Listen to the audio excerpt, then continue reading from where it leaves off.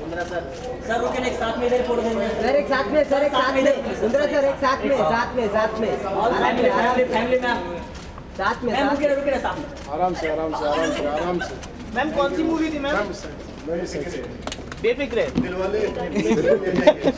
Shilpa ma'am कैसी लगी movie ma'am कौन सी और कौन सी मूवी थी? बूम तो बूम तो मैं एक्चुअली देखने आई अरमान के लिए। और मेरे राखी भाई के बेटे हैं। जी जी। तो बहुत अच्छा काम किया उन्होंने। हाँ शिल्पा जी शिल्पा जी। है है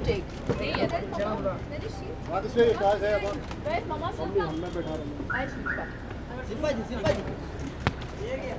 शिल्पा जी दोनों का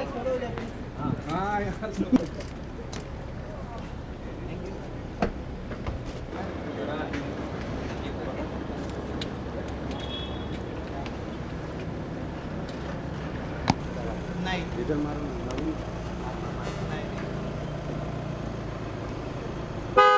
अरे हाँ